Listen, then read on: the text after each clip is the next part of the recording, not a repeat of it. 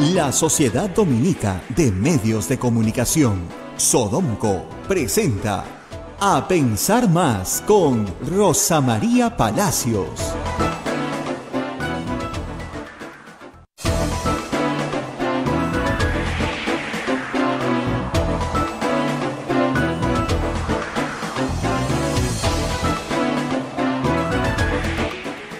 Señores, muy buenos días. Bienvenidos a Pensar Más con Rosa María Palacios a través de las emisoras de la Sociedad Dominica de Medios de Comunicación, Sodonco. La Sociedad Dominica de Medios de Comunicación está integrada por Radio Santa Rosa en Lima, Radio Santo Domingo en Chimbote, Radio San Martín en Arequipa, Radio Cepagua Ucayali, Radio Quillabamba La Convención, Radio Madre Dios en Puerto Maldonado.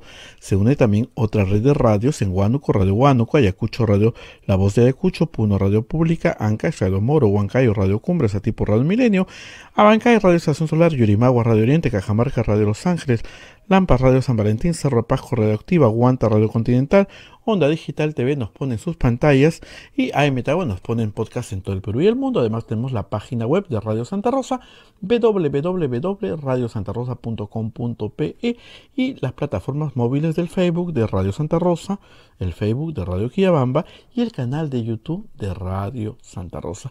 Ya estamos conectados con Rosa María Palacios para eh, este día de análisis, 12 de enero del año 2022. Rosa María, muy buenos días, adelante. Muy buenos días, a ver, y muy buenos días a todos nuestros oyentes en todo el país. Antes de comenzar con la información, como siempre, tenemos que hacer las menciones correspondientes de nuestros auspiciadores. Y empezamos con la Pontificia Universidad Católica del Perú. Somos la primera universidad peruana en alcanzar el puesto décimo tercero en América Latina, según el ranking US Latam 2022, gracias a una formación de calidad internacional que transforma nuestro país. Pontificia Universidad Católica del Perú. Hotel La Cuesta de Caima de la Asociación Santa Catalina de Sena, de las Madres del Monasterio de Santa Catalina, es la mejor opción para tu estadía en Arequipa. Lo recaudado por el hotel sostiene las instituciones de apoyo social de las madres que benefician a niños, niñas, mujeres y adultos mayores en estado de vulnerabilidad. Informes en el Facebook e Instagram del Hotel La Cuesta de Caima, Arequipa. Policlínico Ángeles de la Salud.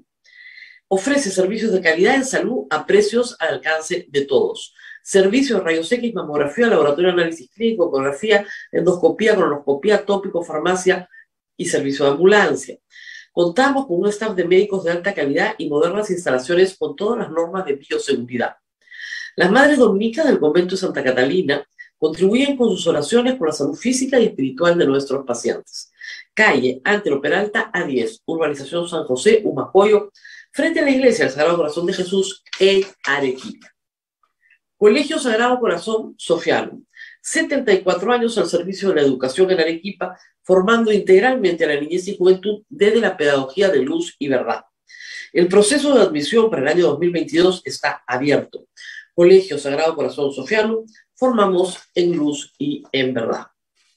El Colegio Privado Bilingüe Reina de Los Ángeles, situado en La Molina, Lima, tiene como meta la educación en las virtudes cristianas, para construir una sociedad más humana, más fraterna y más feliz. El Colegio Bilingüe La Asunción, perteneciente a la congregación de las Hermanas Dominicas de la Inmaculada Concepción, ubicado en Trujillo, La Libertad, brinda una educación a jóvenes y niños basada en las virtudes y en la espiritualidad dominica. Colegio Santanita brinda educación católica desde el diseño curricular Luz y Verdad. Es una gran opción a los papás que buscan para sus hijos una educación de calidad con valores cuenta con docentes en el manejo de los entornos virtuales de aprendizaje para el desarrollo de habilidades de los alumnos que los hagan competitivos en la sociedad. Y finalmente, Colegio Santo Tomás de Aquino, de los padres dominicos. Ofrece excelencia académica y formación cristiana para la vida. Abre el proceso de admisión para el año 2022, para primaria y secundaria. Informes en los teléfonos 987 11 8509 y 426 3390. Colegio Santo Tomás de Aquino, 129 años formando en valores cristianos. Muy bien, la información hoy día, eh, por supuesto, siempre varía y hoy temprano, a las eh, aproximadamente 5 de la mañana, ha fallecido el exalcalde de Lima, Luis Castañeda Locio. Así que las condolencias para sus familiares. Sin embargo, en el plano político, hay que recordar algunos aspectos de la vida de Luis Castañeda Locio. Fue alcalde de la ciudad de Lima, tal vez su cargo más importante, en tres oportunidades. Tendría que haber desempeñado 12 eh, años el gobierno de la ciudad. Sin embargo, en eh, su eh, segunda reelección, interrumpió su mandato para ser candidato presidencial con poca fortuna, hay que decirlo, en el 2011. por lo tanto, no completó los 12 años de mandato como alcalde de Lima. Estuvo fuertemente comprometido en su primer mandato, sobre todo, con obras públicas que fueron de alto impacto para los ciudadanos, las escaleras en los cerros, los hospitales de la solidaridad. Sin embargo, en su segundo mandato, reitero, que fue interrumpido para postular a la presidencia, y en su tercero, sobre todo, su actitud hacia la ciudad y hacia la libertad de expresión cambió radicalmente. Al final era un hombre que no daba mayores cuentas de lo que hacía. Y eso lo llevó a terminar comprometido seriamente en casos de corrupción que lamentablemente no han podido ser sentenciados en su caso. El caso de OAS era el que más lo comprometía. Lamentablemente la Fiscalía demora años de años de años en llevar procesos como este. El señor Castañeda Locio descansa hoy en paz porque jamás fue sentenciado por las graves acusaciones que tuvo en vinculación a la empresa OAS. Reitero, lamentablemente falleció el señor a los 76 años y jamás podremos saber si en su caso hubiera habido sentencia o no, porque la muerte extingue la acción penal. Lección para la Fiscalía, creo yo, importante el día de hoy. Agilicen los casos y terminen de hacer su trabajo de una buena vez. Castañeda Locio, reitero, se va sin sentencia. A los 76 años, eh, según el doctor Rubio, su médico personal, colega, amigo, director de los hospitales de la solidaridad, eh, lo aquejaban una serie de dolencias crónicas desde hace mucho tiempo y esta mañana sufrió un infarto que finalmente lo llevó a la muerte. Y luego de eso, bueno, pasemos a otros temas que han estado movidos el día de ayer. Es salud cambia de presidente. A cinco meses de su designación, el señor Carguapoma se va, pero no se va. Lo mantienen en el directorio de salud como representante del Estado. Si no es bueno para ser presidente de salud, ¿por qué es bueno para ser director en el gobierno? Tampoco dan explicaciones. No hay explicación. Concurso para adquirir biodiesel en Petroperú el que pierde, gana.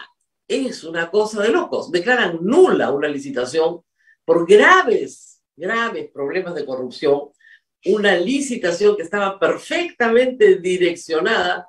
Sacan a la competencia internacional, sacan a la competencia local, gana el mismo. Muy bien. Nulo el concurso. Lo vuelven a hacer.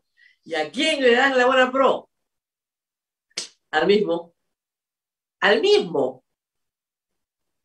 O sea, el que pierde, gana. Es increíble. No se les ha movido un pelo. Tranquilos. Tranquilísimos. Y no pasa nada. Normal. Como no pasa nada tampoco con el nombramiento de Daniel Salaverri. No pasa nada. Oiga, señor, usted no tiene competencia técnica, pues en petróleo, ¿no? ¿Qué le pasa? No importa. Ahí se queda ofrézcanle otra cosa. Si el presidente lo quiere favorecer con un puestito, ofrézcale una embajada, ofrézcale el Ministerio de Vivienda, al señor arquitecto, ofrézcale algo que tenga que ver con sus habilidades. No, vamos a incumplir la ley con entusiasmo.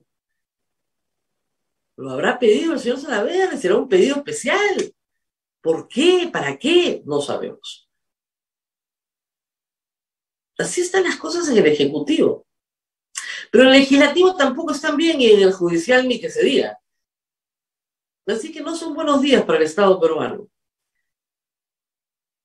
Ayer, nuevamente, hemos tenido la noticia ingrata de que la Junta de Portavoces va, aprobó para que se discuta hoy en el Pleno del Congreso, dos proyectos sobre educación universitaria. Uno tiene un título sacado en 1984 de Orwell, ¿no? Es un proyecto para restituir la autonomía universitaria. Suena bien, o sea, hemos perdido la autonomía universitaria, entonces la vamos a restituir. El proyecto no restituye nada porque nada se ha perdido. Ojo, el proyecto es para que los rectores de las universidades controlen el organismo que los supervisa, para resucitar el esquema de la Asamblea Nacional de Rectores. No quieren una fiscalización ajena a ellos. ¿Por qué? Porque eso significa inversión para el alumno, garantía de derechos para los profesores, investigación. Y los propietarios de las universidades no quieren eso, pues. Digo, los propietarios de universidades licenciadas ya pasaron por el aro y claro, no quieren que les salga competencia leal.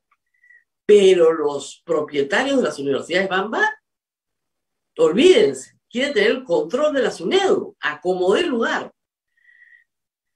Esta es una reforma que ya tiene varios años y como se ha venido demostrando en los últimos días, la producción académica, la producción de investigación universitaria del Perú se ha elevado en los últimos cinco años de una manera contundente, demostrando el impacto positivo de la ley en la reorganización de las universidades en el Perú demostrando además que tenemos exalumnos que van a egresar de universidades que no son una estafa.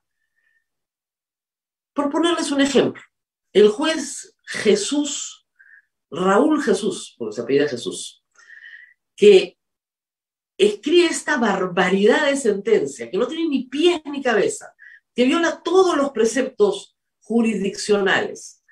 Tiene estudio de posgrado en la Garcilaso La Vega. Ahí tienen, pues. Ese es el resultado. Universidad no licenciada. Estudios recientes, ¿eh? De posgrado. ¿Qué habrá aprendido? No sé.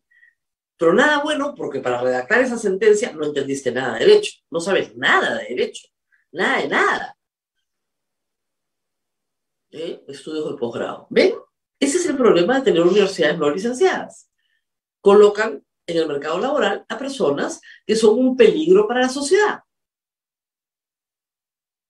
Digo yo, porque digamos, sabemos bien que esa sentencia, les he explicado ya, no es normal.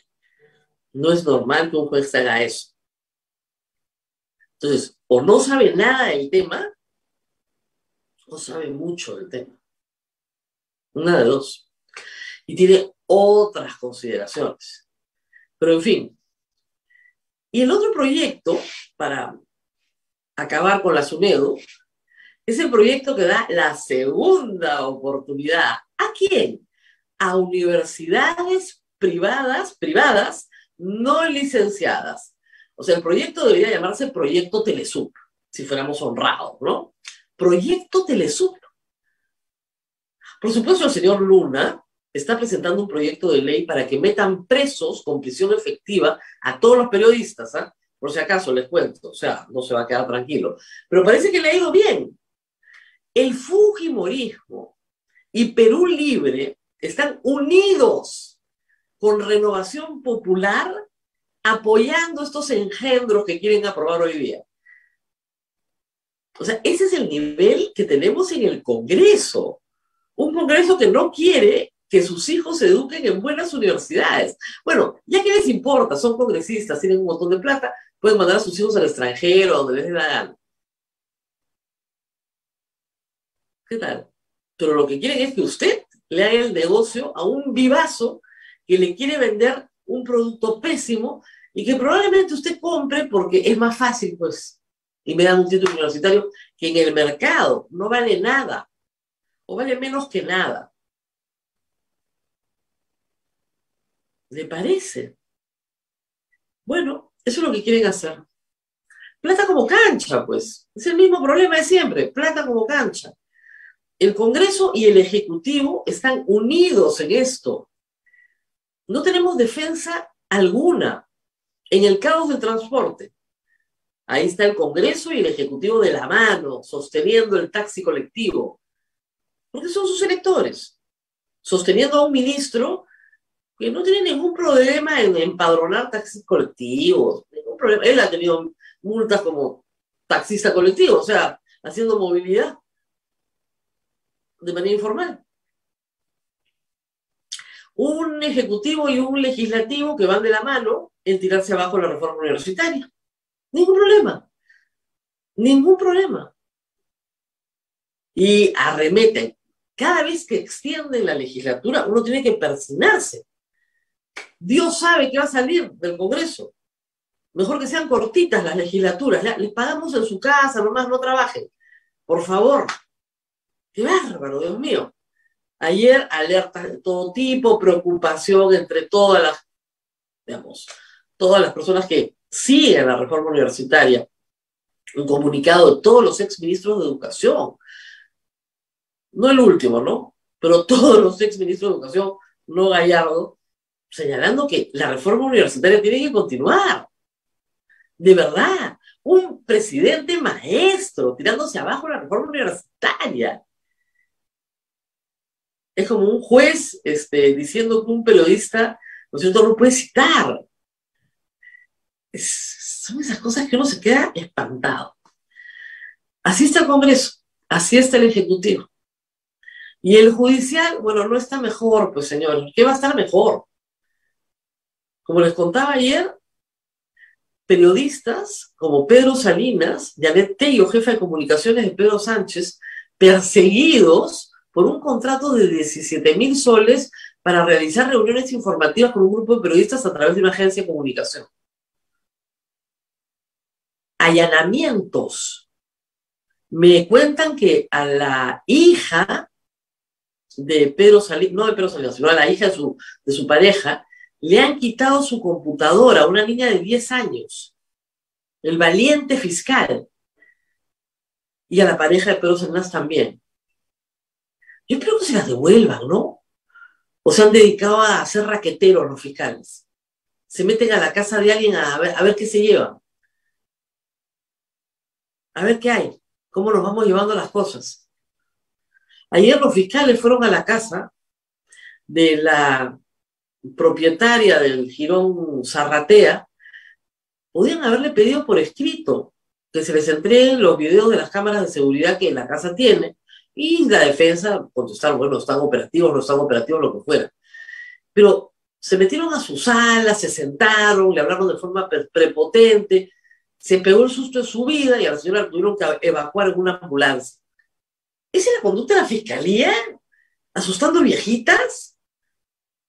¿En serio? ¿Así se portan? ¿Ese es el entrenamiento que han recibido?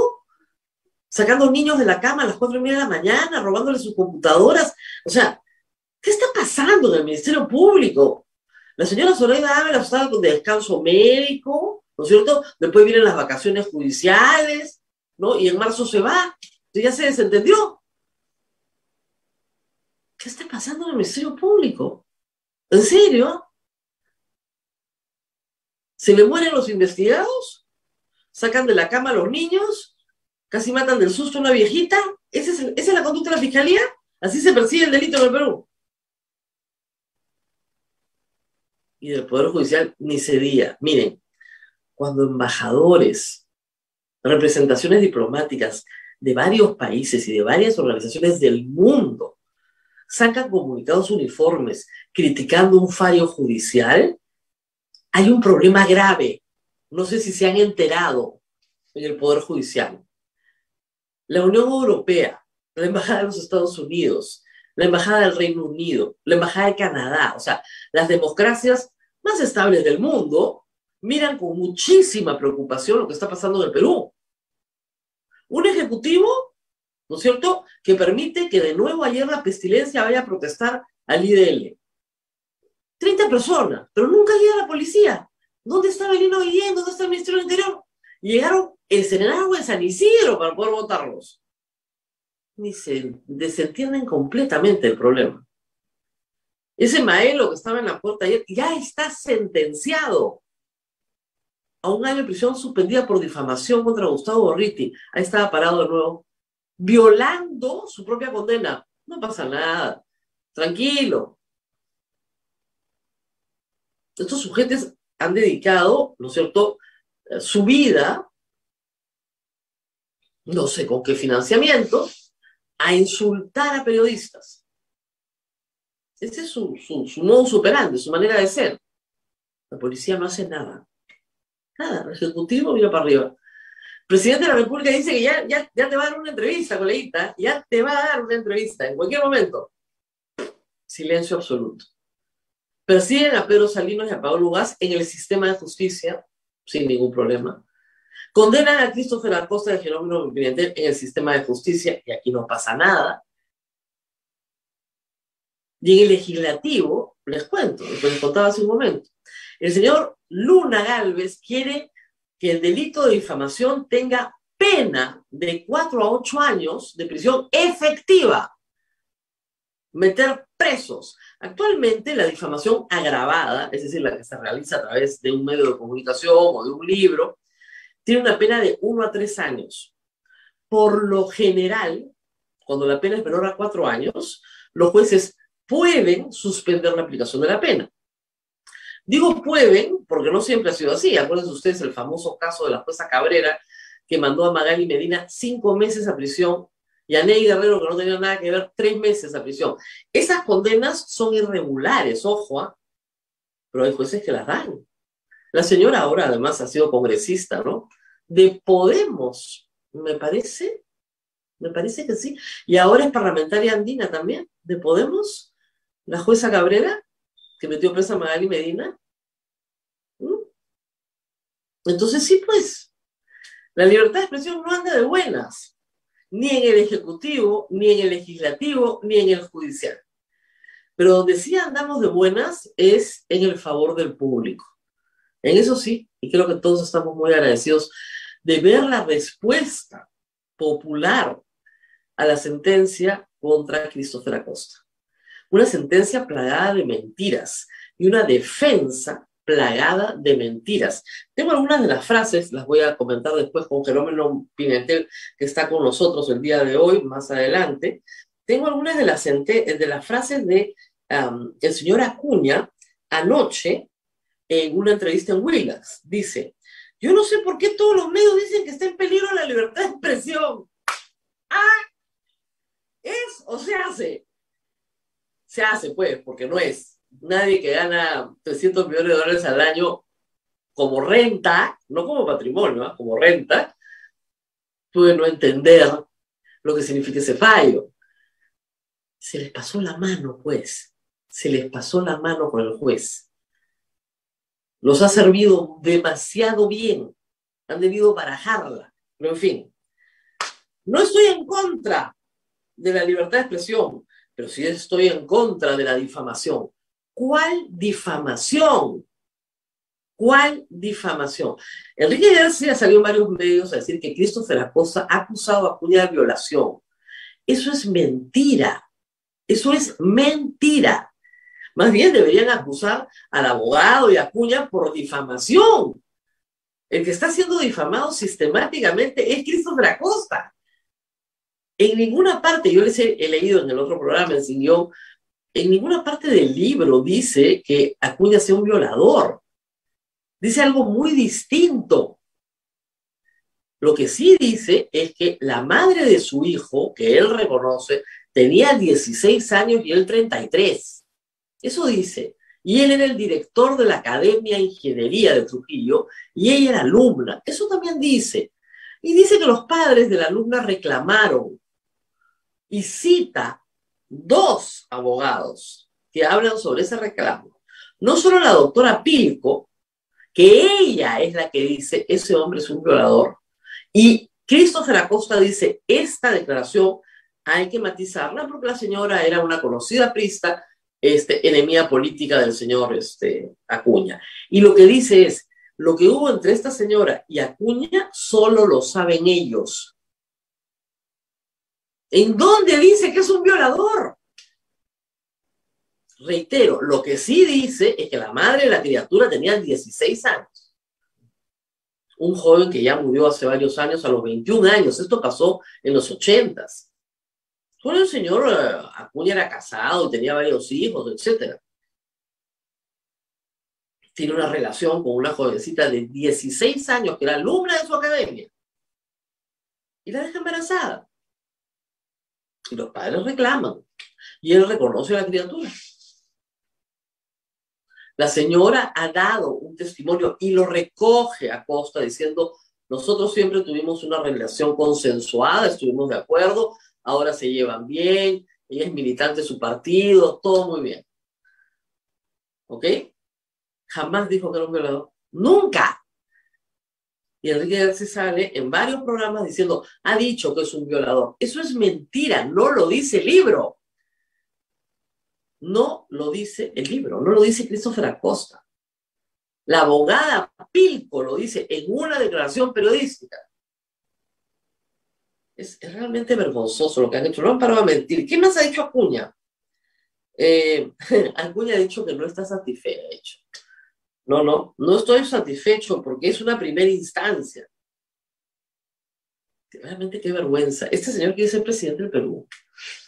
Lo ha tratado de ser recientemente. Dice que defiende la libertad de expresión, como la defiende Castillo, probablemente, como la defiende Luna con su proyecto de ley. O sea, esa es su, su idea de la defensa de la libertad de expresión. La libertad de expresión parte de un derecho, el derecho de ustedes a ser informados. Y ese derecho se basa en la verdad, en el derecho a conocer la verdad. Es muy difícil conocer toda la verdad, porque la verdad siempre permanece oculta. Hay métodos para conocer la verdad. Pero el periodista cumple con el deber de veracidad, cuando con rigor pone todo su empeño en alcanzar la verdad, recurriendo a todas las fuentes posibles, corroborando toda la información posible, y también pidiéndole sus descargos al señor Acuña. Es francamente ridículo que el señor Acuña salga a decir, a mí no me han llamado. Han llamado a Richard, yo no, yo no me llamo Richard. Eh, han llamado a Luis Valdés, yo no me llamo Luis Valdés. Luis Valdés es su abogado y Richard es su hijo. ¿O ustedes creen que todo el mundo tiene el teléfono de Acuña en el celular para llamarlo? Todo el mundo se comunica a través de su hijo o a través de su abogado y le han pedido 20 veces descargos. Y Christopher Acosta tiene todos los correos electrónicos para acreditarlo. O sea, los difamadores son Acuña y su defensa. Hasta ahora, la mayor cantidad de mentiras ha salido de la boca del señor Acuña, que miente miente y miente, es un mentiroso compulsivo. ¿Cómo puede mentir tanto? Yo defiendo la libertad de expresión. ¿Cómo va a defender la libertad de expresión? Reitero, ese fallo es irregular, no es normal. Un juez no se puede apartar de precedentes supranacionales y nacionales sólidos. Desde el 2006 hay jurisprudencia uniforme de la Corte Suprema que señala que un periodista y nadie es responsable por los dichos de un tercero. Yo no podría recoger ni siquiera lo que dice el señor Acuña según la teoría del juez Raúl Jesús. Ese fallo no es normal. Entiendan eso de una vez. No es normal que un juez falle eso. Y claro, si al frente tienes un litigante que dice ganar 100 millones de soles al mes, sí, pues las cosas se ponen un poquito complicadas para el juez, ¿no? ¿Verdad? En fin, vamos a la pausa. Vamos a estar en un instante con Jerónimo Pimentel. Tenemos buenas noticias sobre Plata como cancha ha entrado a reimpresión de emergencia. Miles de peruanos quieren leerla ya. Yo les recomiendo muchísimo. Y si tenemos tiempito, vamos ¿Leemos? a... ¿Perdón? los oyentes están preguntando si ya se leyó alguna otra hojita de, bueno, vamos a leer otra hojita. Vamos, así, como dice, como con la Biblia, vamos al azar, ¿ya? Vamos al azar. tenemos. Vamos al azar. Eh, Vamos al azar, voy a leerles una hojita. Página 127. Una universidad compartida. Cita del señor Acuña. Las transferencias no eran gastos de campaña, eran para crear imagen de persona. El día que iban a vacar a Martín Vizcarra, los congresistas de Alianza para el Progreso reciben un mensaje vía WhatsApp. A las 10 en punto de la mañana, hora en la que había sido citado el presidente al Congreso de la República, timbra el chat grupal. Bancada APP. Es César Acuña. El líder del partido les cuenta que anoche no he podido dormir pensando en la decisión que tienen por delante, que está seguro de que cada uno actuará con responsabilidad, que le ha pedido a Dios que los ilumine para lo que se decida, para que lo que se decida sea lo mejor para el país. Y que desde su experiencia, lo que aconseja para este tipo de situaciones es tener cabeza fría. Acompaña el mensaje de una foto de sus padres en Ayaque, Tacabamba. Sin decírselo, les recuerda con eso el viaje de inicios de ese 2020, cuando los llevó a su pueblo a conocer sus orígenes y donde todos los 22 prometieron frente a su casa en el Ande peruano unidad. Luego Acuña parte a Tumbes, a donde piensa que no le va a alcanzar la turbulencia política de lo que está por decidir su bancada ese lunes 9 de noviembre del año 2020. El mensaje del fundador de APP en el chat era neutro. No contenía ninguna dirección para el sentido del voto de sus congresistas, lo que sorprende a buena parte de la bancada. Pero que Acuña, la interna, no tome posición, era tomar posición. Por temas menores, el partido solía convocar reuniones vía videollamadas en la que la dirigencia del partido hacía conocer su posición sobre, por ejemplo, la censura a un ministro o la aprobación de un proyecto de ley. No aquí. Acuña sabía desde el fin de semana cuál era la intención de voto de la mayoría de sus congresistas. Lo sabía porque así se lo había informado Luis Valdés Farías, su alfil en el Congreso de la República. Valdés, entonces primer vicepresidente del Congreso, juega en el Parlamento el rol que tenía a cargo Richard Acuña hasta antes del cierre del Congreso anterior. Es la voz de César en el hemiciclo. Hablar con él es hablar con el líder para temas legislativos. Es el hilo conductor entre la dirigencia y los parlamentarios. Pero ese día desaparece. Su ausencia física en el Parlamento y su escasa participación en el chat grupal el único espacio donde la bancada discute contra el reloj la decisión en bloque que tomará, incrementa la sensación de orfandad de los congresistas, que terminan acogiendo el liderazgo que en el asunto toman dos parlamentarios, Omar Chejade y Fernando Meléndez. Acuña los deja hacer. Así se lo había recomendado un asesor a miles de kilómetros de distancia de Lima, que ya conoceremos. APP no va a votar para el tema de la admisión de la vacancia. Somos conscientes de que hoy, más que nunca, ese trabajo le corresponde a la Fiscalía. Que la Fiscalía investigue y acá mi recomendación, que el presidente busque a sus abogados y que sus abogados se dediquen a su caso y él se dedique a tiempo completo a estos, seis, a estos siete meses que le quedan. Así había declarado César Acuña en el comercio apenas nueve días antes de que su bancada sumara sus votos a favor de mandar a Vizcarra a su casa. No solo había ofrecido no sumarse a la tentativa vacadora, sino incluso ayudar al presidente. Creo que es irresponsable a siete meses que termine Vizcarra que haya una vacancia. Creo que debemos, al contrario, ayudarlo para que termine su gestión. Yo creo que a nadie se le puede ocurrir ahorita que haya un cambio de presidente. Cita de Acuña. ¿Por qué había cambiado de opinión? ¿O por qué había permitido que sus congresistas tomen una posición supuestamente contraria a la suya? El líder del partido tenía tres razones. Dos le preocupaban y una le molestaba especialmente. Ninguna, sin embargo, tenía que ver por el asunto de fondo a votarse los supuestos sobornos de Martín Vizcarra había recibido cuando presidente regional de parte de la constructora que levantó el Hospital Regional de Moqueo. De aquello existe información abundante y es probablemente uno de los casos más sólidos del equipo eh, especial de fiscales, pero cuando este periodista conversa con varios congresistas de APP el mismo día de la votación y en días posteriores, ese motivo apenas discurre entre sus argumentos. El objetivo era castigarlo. Acuña es convencido por su entorno de que Vizcarra no era garantía de neutralidad para las elecciones de 2021. Tras salvarse del primer intento de vacancia, el entonces presidente de Diquitos había dicho que el próximo 11 de abril el Perú debía votar por sangre nueva, gente joven. Y esa era para APP una prueba irrefutable de que el mandatario jugaría en esa contienda electoral a favor de George Forsyth, algo que no podía permitir. Ese asunto le preocupaba tanto como el segundo, que APP se ha percibido como un partido gobernista.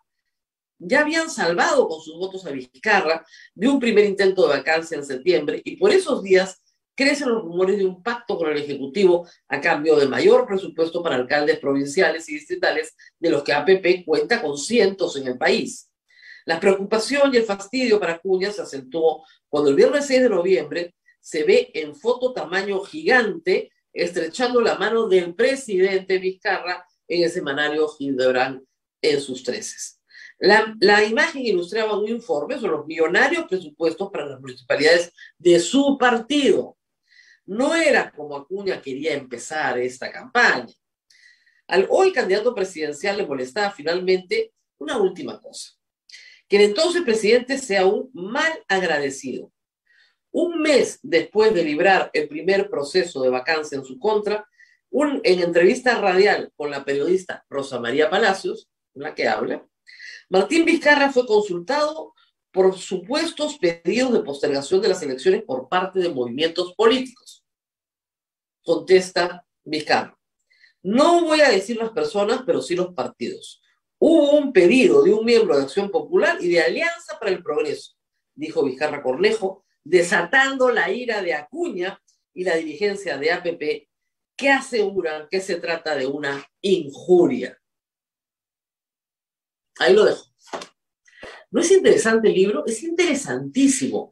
Plata como cancha. Sigamos leyendo. Vamos a la pausa, Abel, y regresamos con más. Vamos a la pausa y volvemos con Jerónimo Pimentel.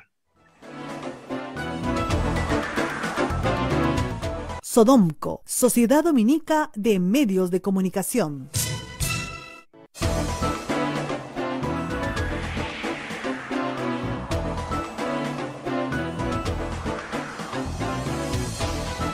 Continuamos con A Pensar Más a través de las emisoras de la Sociedad Dominica de Medios de Comunicación en Lima, Radio Santa Rosa, Chimbote, Radio Santo Domingo, Arequipa, Radio San Martín, Ucayali, Radio Cepagua, La Convención Radio Quiabamba, Puerto Maldonado, Radio Madre de Dios, en Huánuco, Radio Huánuco, Ayacucho, Radio La Voz de Ayacucho, Puno, Radio Pública, Ancash, Radio Moro, Huancayo, Radio Cumbre, Satipo, Radio Milenio, Abancay, Radio Estación Solar, Yurimagua, Radio Oriente, Cajamarca, Radio Los Ángeles, Lampa, Radio San Valentín, Cerro de Pasco, Radioactiva, Guanta Radio Continental, Onda Digital TV nos pone sus pantallas, AM Tagua nos pone en podcast en todo el Perú y el mundo y nuestras plataformas móviles, el Face de Santa Rosa, el Face de Quillabamba, el canal de YouTube es Radio Santa Rosa y nuestra página web www.radiosantarosa.com.pe.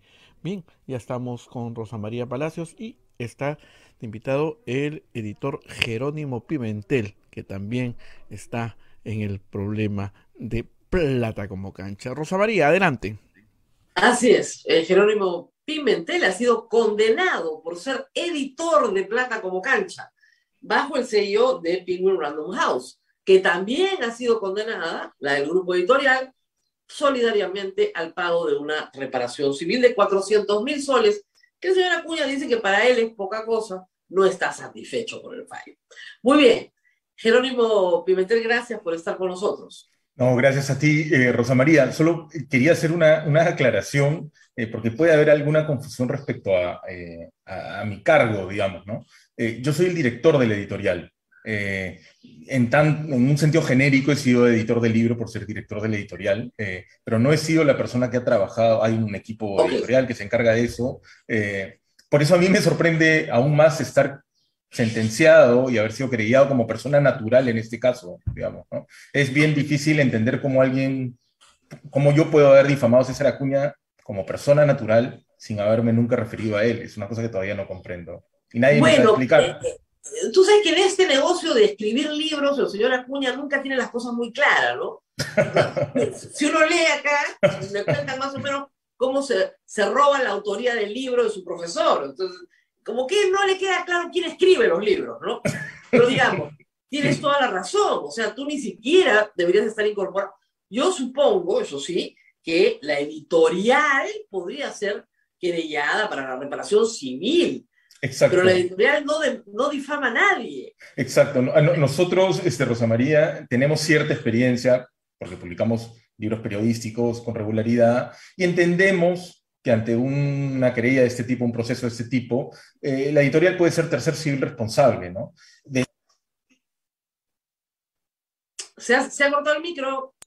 Perdón, de lo que no encontramos ningún antecedente, de lo que no encontramos, no, no solo en Perú, sino en ningún lugar donde opera el grupo, en ninguno, y operamos en todo el mundo, es que el, el director de la editorial pueda ser creado como persona natural por algo que dijo, por algo que citó un autor. son unos saltos jurídicos, unos, eh, no sé, yo lo, entiendo, yo lo encuentro alucinógeno, Rosa María. Ahora, vamos, vamos por parte, porque sí me gustaría que el público entienda, para quien no lo sabe, qué cosa es Penguin Random House. O sea, Penguin Random House. en inglés nos parece una cosa muy, muy cercana, ¿no es cierto? Pero no todo el mundo.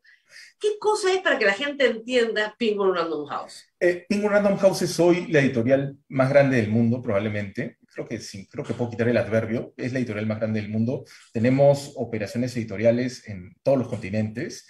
Eh, en, el, idioma español, digamos, eh, somos Penguin Random House Grupo Editorial. Eh, reunimos una suerte de 45, 50 sellos editoriales Alfaguara, Plasijanés, Grijalvo, eh, Montena, Beascoa, Aguilar, Literatura Random House, una cantidad eh, bastante eh, grande de sellos que se dedican básicamente a todas las líneas editoriales posibles. Entiendo además que Penguin Random House es una fusión, además de varias casas editoriales a lo largo es del una, tiempo. Es una editorial que se ha construido a través de fusiones y compras, digamos, ¿no? Así es. Por eso es la más grande del mundo. ¿Y en español es la más grande del mundo? En español también es la más grande del mundo. Eh, tenemos una, bonita competencia con Planeta en España eh, y en América Latina, eh, pero sí, somos, consideramos que somos la más grande del mundo. Entonces, el, señor, el señor Acuña, que hace las cosas en grande, ha demandado a la editorial más grande del planeta. Sí. Por su honor, por su honor. Sí. ¿Qué es lo que dice la matriz de ustedes sobre este caso? Ah, no entienden nada, Rosa María. es muy difícil de explicar a una persona que es ajena al, marco jurídico peruano eh, por qué el director eh, puede ser sentenciado en primera instancia a cárcel, suspendida, pero a prisión por dos años, y por qué un autor puede ser condenado a la misma pena por, citar. Es, un tema que yo he tratado de explicar eh, sin mucho éxito, ciertamente. Claro, eh, la matriz no, entiende qué está pasando, pero es evidente que este tipo de cosas suceden, digamos, en Corea del Norte. En los países en, los que no operamos, Rosa María. ¿Perdón? En los países en los que no operamos, en, dictaduras, en, países donde no hay eh, Estado de Derecho, ordenamiento jurídico que dé garantías para la libertad, no solo de expresión, sino también de publicación. ¿no? Claro, la libertad de, publicación, que es la que una editorial siempre va a manejar, y ustedes no someten, digamos, sus publicaciones a censura previa del Estado. Por lo tanto, ahí donde no pueden operar, simplemente no operan, ¿no? No, en Cuba y Corea del Norte no estamos, digamos. No están. Para que quede claro para los demás. Eh, hay que decir algo en primer término. La defensa del señor Acuña intentó que el libro no circulara. Es, que eh, yo creo que ese es el punto clave, Rosa María. El, para mí, eh, si uno da un paso atrás y mira la, imagen grande de cómo ha sido este proceso, eh, lo que uno ve es que hay dos momentos muy definidos. Uno, en lo que se, en Indecopi se pone una acción civil para tratar de restringir la circulación del libro, bajo la idea un poco descabellada de que el libro estaba usurpando los derechos comerciales del señor Acuña por haber puesto de título Plata como cancha algo que ya fue desestimado en primera instancia en Indecopi, pero en esa acción se trata de restringir la circulación del libro. Y como no lo logran, esperan a que termine el proceso eh, eh, electoral eh, para que no haya más daño, digamos, esa es mi interpretación. Y una vez termina, entablan esta querella que yo considero de castigo, ejemplarizante, contra el autor contra la editorial y contra el director de la editorial por haber permitido que esto ocurra, ¿no? Para mí la, la intención es muy evidente, Rosa María. Claro, pero al final del día lo que tenemos acá es un libro que circula libremente porque hay que recordarle a los señores políticos que en el Perú no hay censura previa. No hay censura previa, ni civil, ni judicial, ni administrativa. Nadie puede impedir la difusión del, del pensamiento. Lo que sí puede es responder por las consecuencias de esa difusión. Exactamente. Pero la difusión del pensamiento está intacta. Y ahí viene mi pregunta. Sé que están reimprimiendo el libro a toda velocidad. Eh, mira, Rosa María, una de las grandes ironías y paradojas de este proceso es que cada vez que han entablado una acción contra el libro, el libro se ha agotado en librerías y hemos tenido que reimprimir. Eh, cada vez que nos pusieron una acción en Indecopy, cuando pidieron un embargo preventivo por 100 millones de soles, algo que también, dicho sea paso, fue muy difícil de explicar a, a mis colegas europeos, este, eh, o ahora eh, con la sentencia, cada vez que ha ocurrido un intento de censurar la resolución, de restringir la resolución del libro o atacar al autor o a la editorial, la respuesta del, de los lectores ha sido masiva, ha sido total. Entiendo que ya vendieron 14 mil ejemplares. Sí, yo, yo, yo, creo que estamos viéndonos, sí, hemos impreso eh, anteayer, hemos impreso de nuevo, eh, y creo que el libro ya se está yendo por los 20 mil, sí. 20 mil ejemplares hasta ahora. Y eso, para que lo, el público entienda, eh, para publicaciones de este tipo, ¿es, extraordinario? Sí, imagínate, Rosa María, que es una séptima o octava reimpresión, hemos perdido la cuenta ya. O sea, es un libro que, que ha tenido una vida eh, bastante, bastante feliz en, en, las librerías peruanas. Azarosa. Ahora, ojo, señores este, del público, nadie se hace rico este, escribiendo libros, ¿ah? O sea, esto no es 300 millones de dólares al año, como es el patrimonio del señor Acuña. no, por si acaso. No, esta es una industria cultural que todavía es relativamente pequeña en Perú, eh, donde las, el número mismo no es... Eh, digamos, no sé cuánto es un punto de rating en televisión abierta, Rosa María, o cuántos... No, eh, no, un punto de 90 mil espectadores. Claro, un, o cuánta gente se puede conectar a un programa como el tuyo. Eh. Ah, en, en, en el fondo, claro, la, los números de la industria editorial peruana todavía son modestos en comparación con otros medios, ¿no? Claro, pero hay que decir algo. El libro está teniendo, yo llamé a Jerónimo Pimentel, le escribí para poderlo leer, por si acaso, porque y me contestó por WhatsApp por escrito, porque acá, en la acá dice que hay que pedir permiso, este, por escrito, eh, pero mucha gente está conociendo el contenido del libro en las últimas 24 horas. Pedazos, ¿no? Están eh. miles de personas, porque otros periodistas, no solo yo, lo están leyendo en sus redes sociales, en sus programas de radio, de televisión, mucha gente se lo está leyendo al público para que entiendan de qué se trata. No, no, no solo eso, Rosa María, sino que en, en, un extra, bueno, tú has tenido la diferencia, que agradezco de haber pedido permiso para leerlo, pero eh, la verdad es que el libro ha sido hackeado y pirateado y su versión en PDF, a mí me la han mandado tres veces, imagínate. Sí, diez veces ayer. Sí, ha estado circulando. Diez veces masivamente. Nosotros preferiríamos ciertamente que la gente lo compre, eh, pero de alguna manera esta es una señal de que si lo que se buscaba era restringir eh, o censurar los contenidos del libro, el efecto que se está teniendo es exactamente el contrario. Hay, creo que dos eh, defensas del señor Acuña en esto, ¿no? De lo que se ha visto ayer y lo que han dicho sus abogados. Yo quería centrarme en dos que le expliqué al público antes. Primero, que nadie le preguntó a él, pobre víctima, su versión de los hechos. Y eso, Christopher Acosta ha dicho que es falso y que tiene cómo probarlo.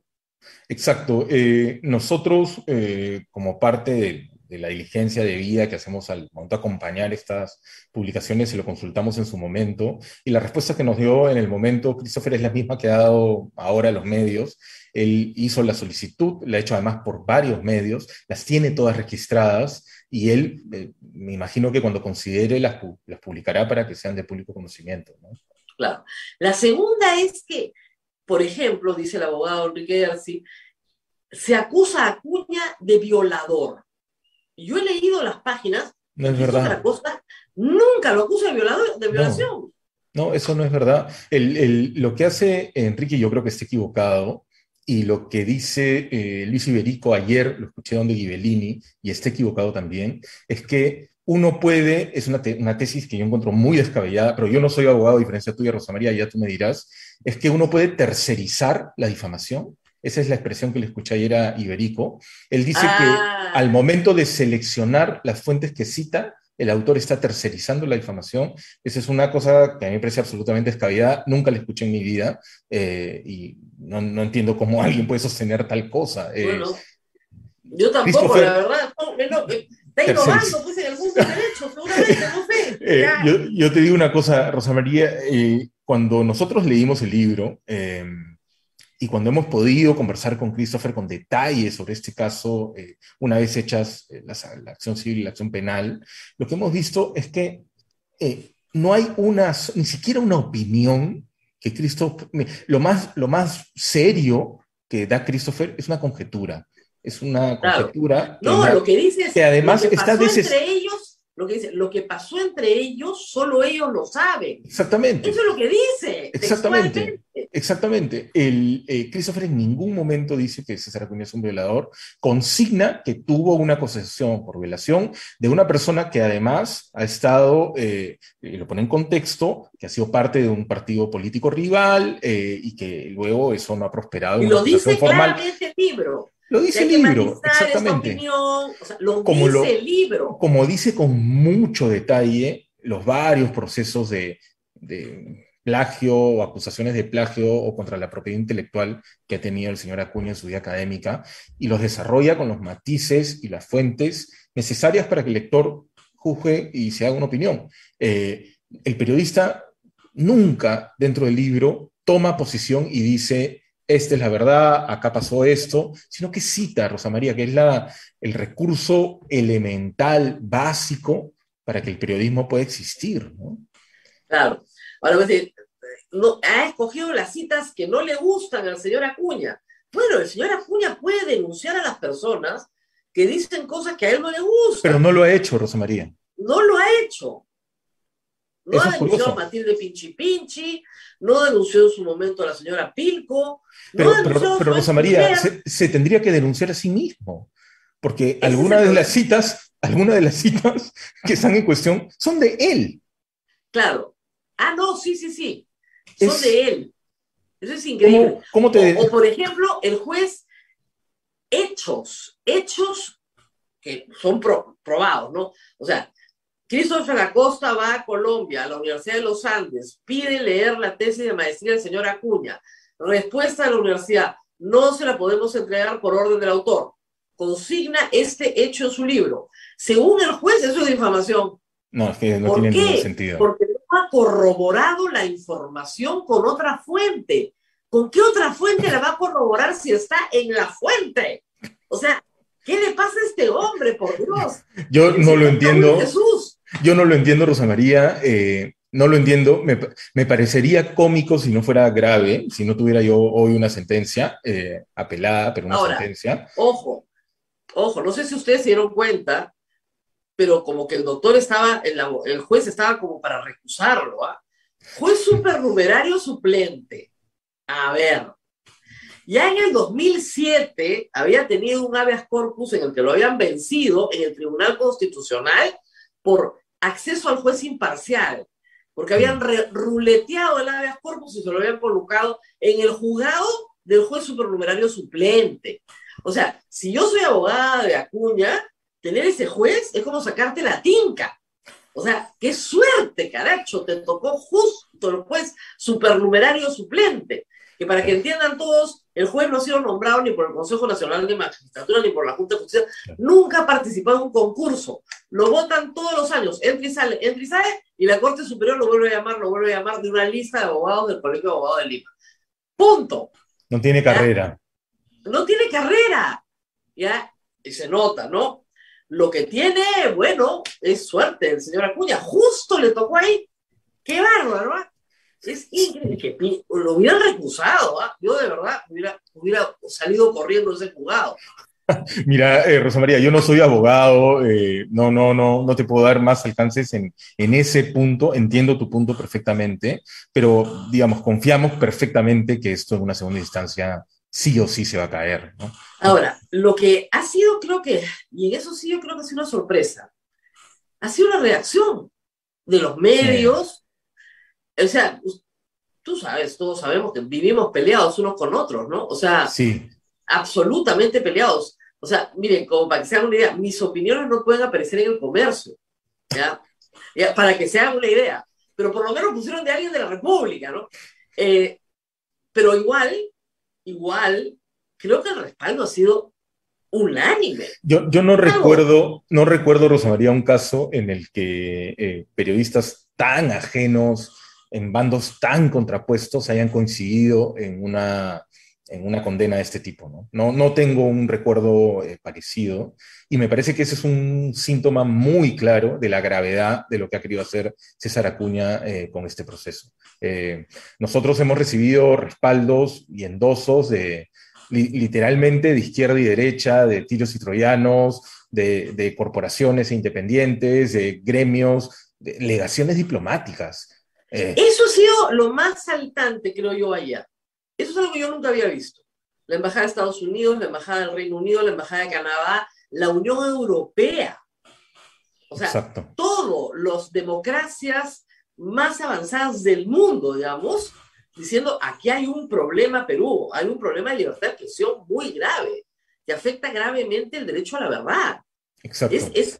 ¿Tú crees que los abogados de Acuña midieron esta reacción?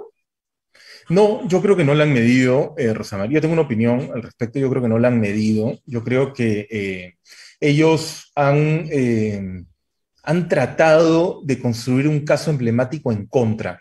Mi, teoría, tengo una teoría personal, no, es una teoría probada, es mi hipótesis, es un poco de la experiencia que estoy teniendo, y es más o menos así.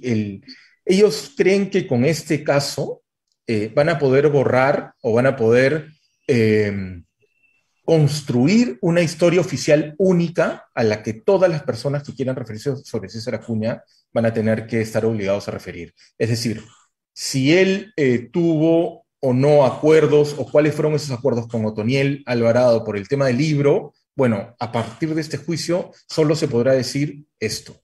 Si él tuvo o no eh, problemas con su ex esposa o una relación extramarital o un hijo, etcétera, bueno, a partir de este juicio solo se poder Han querido utilizar de alguna manera el, libro en tanto narrativa para cuestionarla y dejar un presente jurídico de cómo nos tenemos que referir a partir de este momento a, César Acuña. Yo creo que en eso hay una mezcla de, de, una sensación de legado de César Acuña, de, querer legar una historia eh, corregida de su propia vida eh, personal y pública, y a la vez eh, un poco de ambición, probablemente los abogados, de ver hasta dónde pueden llegar. Algo que no me sorprendería en, Enrique, ciertamente. Ahora, ha sido muy gracioso ayer porque ha salido una entrevista eh, diciendo que uno está contra la libertad de expresión. Pero hay, algo en sus, pero hay algo en sus declaraciones que a mí sí me parece bien importante tener en cuenta para la defensa de ustedes y creo que no ha sido explotado. El señor Acuña sostiene que él no ha leído el libro. Eso lo ha sostenido. Ayer sostuvo, que, ayer sostuvo que ya lo había leído. Claro, porque ya alguien le pasó el talán. Sí. ¿Qué es lo que pasa para todo el público, para que ustedes entiendan? La acción de difamación, la querella de difamación es personalísima. Solo la puedo presentar yo porque solo yo puedo aquilatar cuán ofendido estoy. Claro. ¿Ok? La, la, la ofensa es finalmente una evaluación muy personal. A mí alguien me puede hablar en un lenguaje que es habitual para mí, no estoy ofendida, pero otra persona con ese lenguaje puede sentirse profundamente ofendida.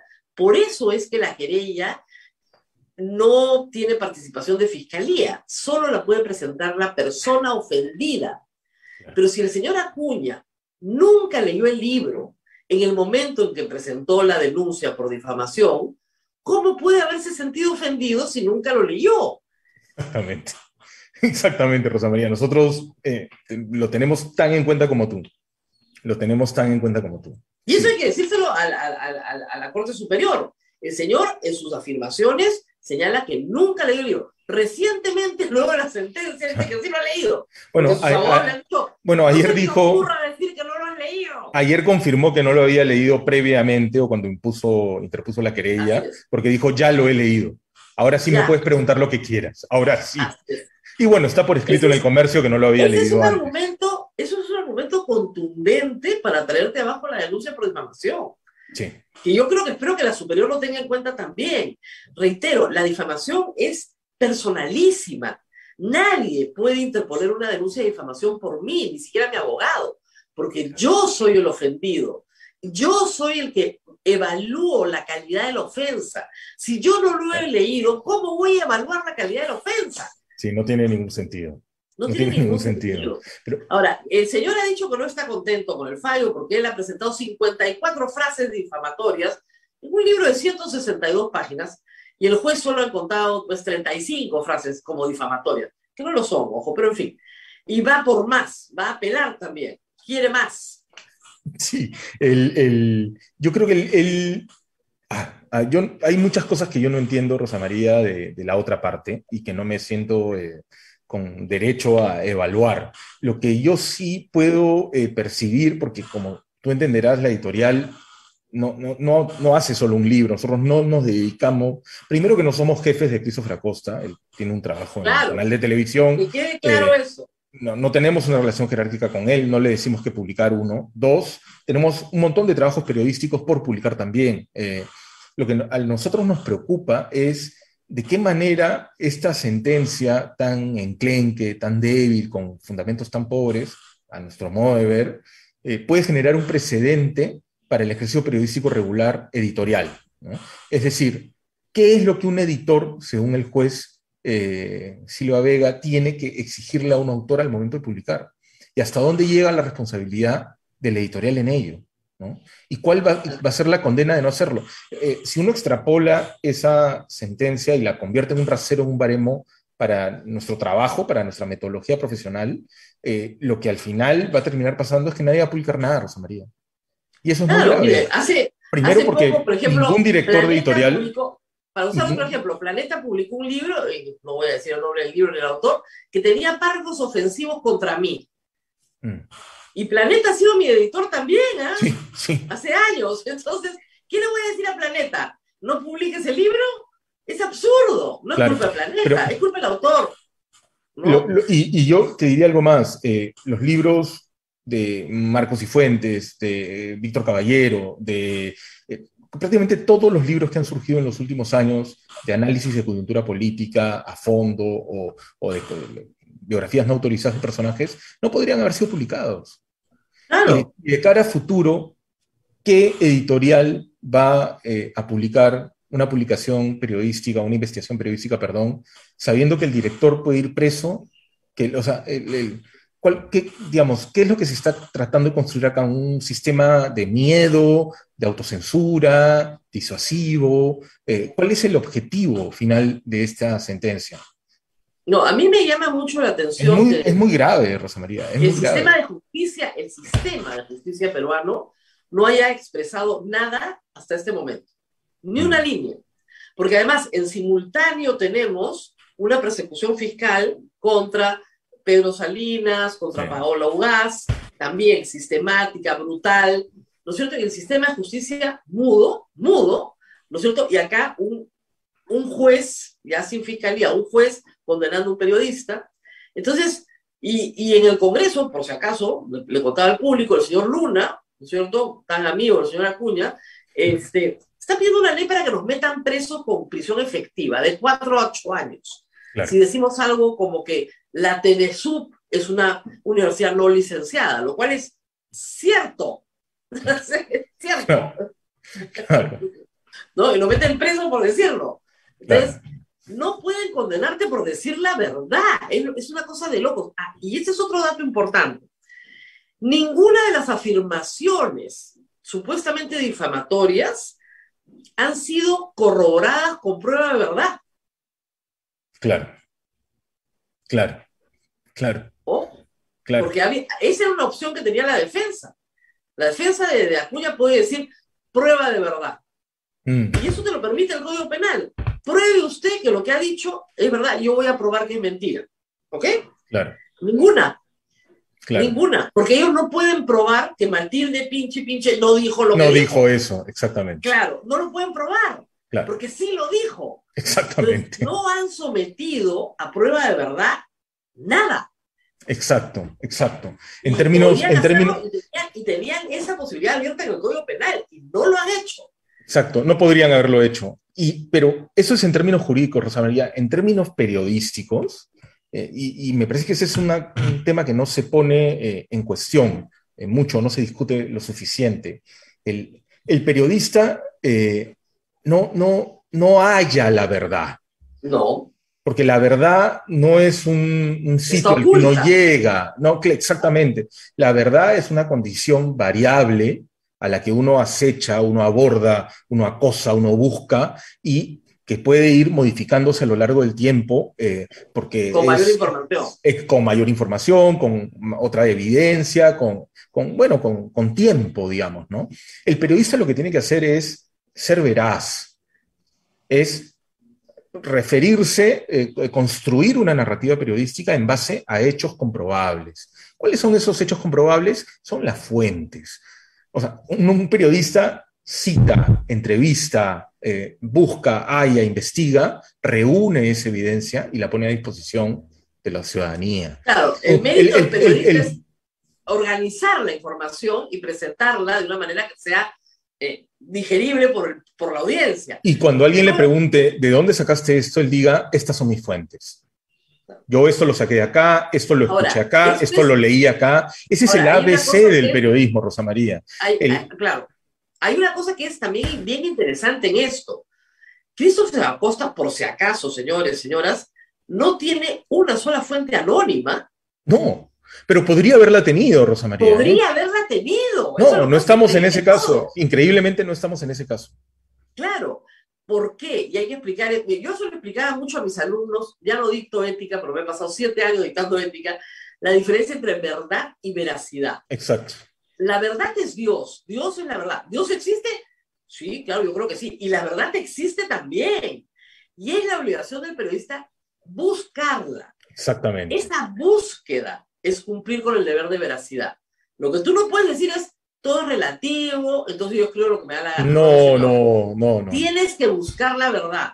Pero si tú tienes hechos, testimonios, una línea del tiempo, puedes verificar lo que está pasando con distintas partes.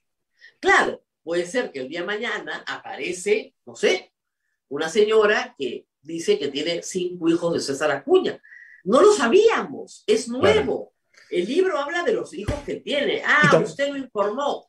Es y, nueva y, también, y también puede decir, Rosa María, que una persona se desdiga y que lo que dijo una fuente en un momento eh, luego se retracte, o, no sé, o, Indecopy declara que hay plagio eh, o declara que hay vulneración de la propiedad intelectual de otra persona, y luego un juzgado dice que no, un comité académico en España eh, impugna y luego un comité político aprueba. Esas son cosas que ocurren.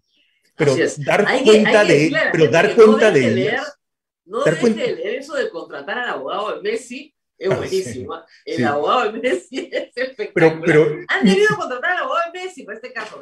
Pero mi pregunta, Rosa María, es: ¿cómo dar cuenta de ello puede ser difamatorio? ¿Cómo dar cuenta de ello puede ser difamatorio? Es increíble. Mira, lo que va a pasar probablemente es que no se pueda publicar absolutamente nada sobre el señor César Acuña. Con lo cual, no sé cómo va a ser política, porque si no se puede publicar nada sobre él, nada, nunca más, nadie se va a enterar de que existe el Señor, porque estamos prohibidos de citarlo incluso a él mismo. Sí. O sea, ya es de loco. no se le puede citar, el Señor no existe. Y como no existe, no sé cómo va a ser política, porque no existe. ¿No? A mí, a mí, eh, a mí me, yo quedo muy sorprendido, Rosa María, con todo esto, pero a la vez agradecido reacciones como la tuya y la de varios colegas que que han tenido una, una, respuesta que yo considero muy, muy contundente. Esto es una locura y no la debemos dejar pasar. ¿Qué dicen los abogados sobre los plazos de la apelación? O sea, ¿en cuánto tiempo? Yo espero que la superior actúe rápido, ¿no? Para limpiarse un poquito la cara. Nosotros esperamos que sea rápido también, eh, pero el mejor plazo que nos han dado es agosto-septiembre. Sí, Así es, es, horrible. ¿eh? Y, nos dicen que eso es muy rápido. Sí, serían súper amables, ¿ah? Seis mm. meses por lo menos. Es que es terrible, pero es así. Ahora, ¿cuál es el problema práctico? Cada vez que Christopher Acosta quiera salir de Lima, tiene que pedir permiso. ¿A quién? Al juez Raúl Jesús le tiene que pedir permiso y le tiene que explicar a dónde va y para qué va, con quién va a estar, con quién va a hablar. Con lo cual, todas sus investigaciones eh, no tienen secreto. Claro, pero, yo, pero yo entiendo que eso queda suspendido con la apelación, ¿no? No, no, no, no, no, no. Las, eh, eh, discúlpame Jerónimo, pero tú tampoco puedes salir de Lima.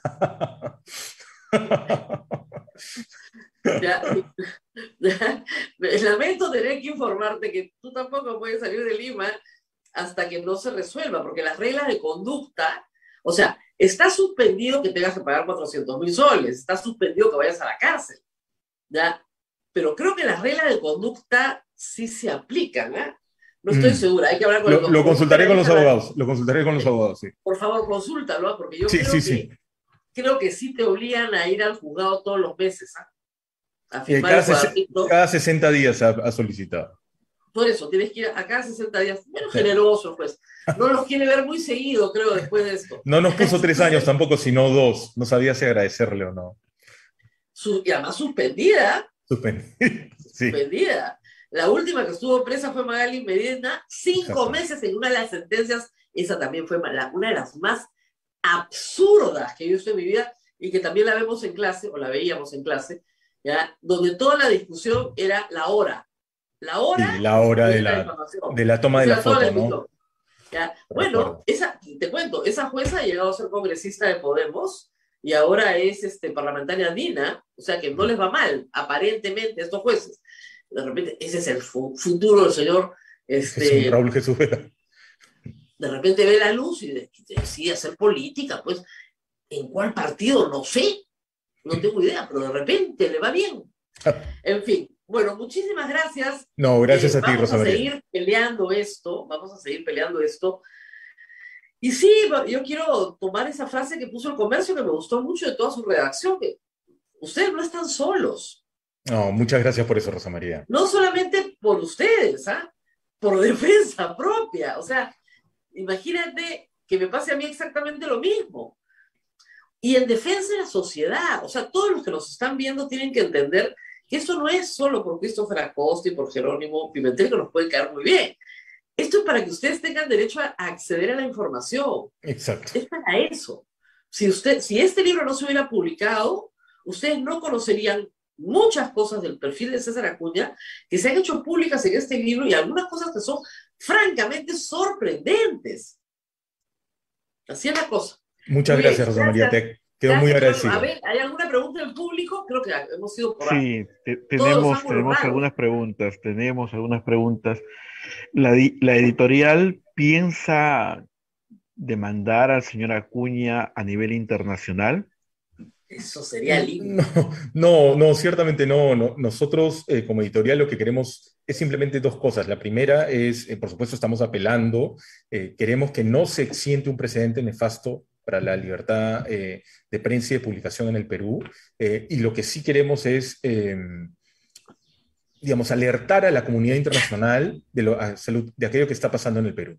Eso es lo que a nosotros nos interesa. Eh, nosotros no creemos, yo personalmente no, no creo en la, en la criminalización de la labor periodística y creo que cuando eso ocurre tiene que ser denunciado a nivel nacional e internacional, eh, pero simplemente como una alerta, ¿no? Como una alerta. Eh, ahora, la reacción de la comunidad internacional ha ido por delante de mis intenciones, así que estamos bastante satisfechos con eso.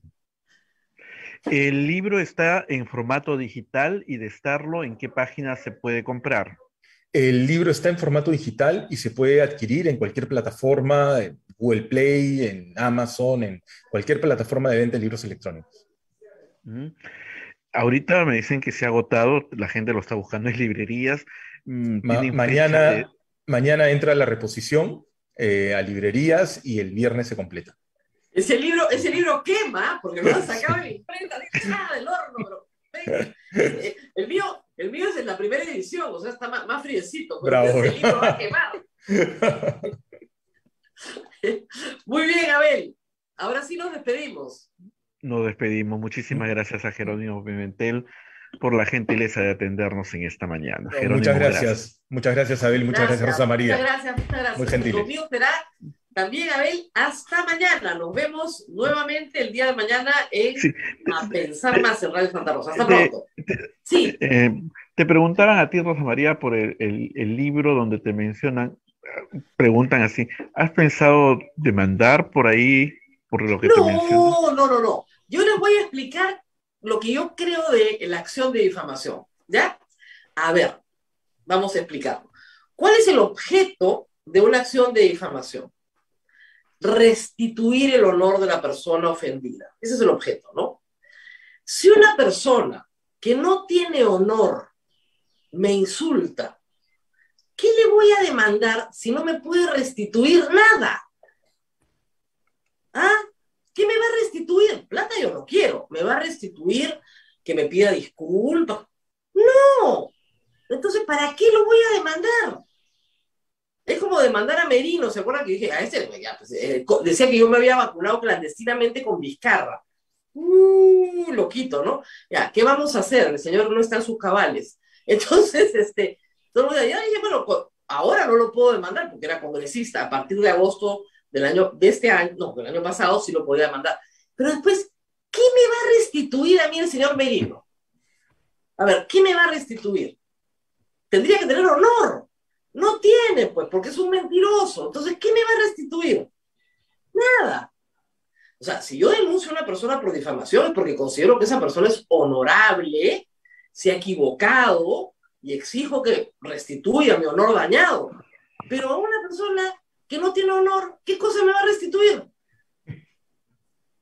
Esa es mi manera de ver la demanda por difamación. Por si acaso. ¿ya? Por eso yo no demando por difamación a nadie. Y a mí me han demandado algunas veces, en una, como conté hace poco, justamente por los dichos de un tercero, pucha, que la gané en las tres instancias, y el sujeto apelaba, apelaba, apelaba hasta la Suprema. Créanme, le fue mal al hombre, ¿ah? le fue mal en las tres instancias, pero solita me defendía, fa, fa, fa. le fue mal, le fue mal, le fue mal.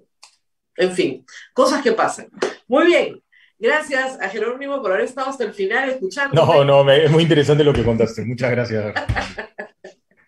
Muy bien, Bien, Rosa nos María. vemos. Nos vemos y Nos no se olviden el libro Plata como cancha. Hemos, hemos decidido hacer la campaña y la vamos a hacer. Ahí está. Vamos a seguir leyendo, ¿ah? yo les voy a leer todos los días algunas paginitas así especiales, más bonitas. A la- hoy día hemos leído al azar, ¿ah? pero mañana podemos leer más. Ya está, y nos pasamos seis meses leyendo el libro. Puede ser, ¿no? Todas las mañanas leemos una paginita del libro. En seis meses, de acá hasta que la superior falle, ya lo leímos todos. Es bien bonito, ¿ah? Tiene unas cosas bien interesantes. Muy bien, nos vemos. Nos vemos, Rosa sí, María. Hasta mañana. Chao, chao. Nos vemos. Chao.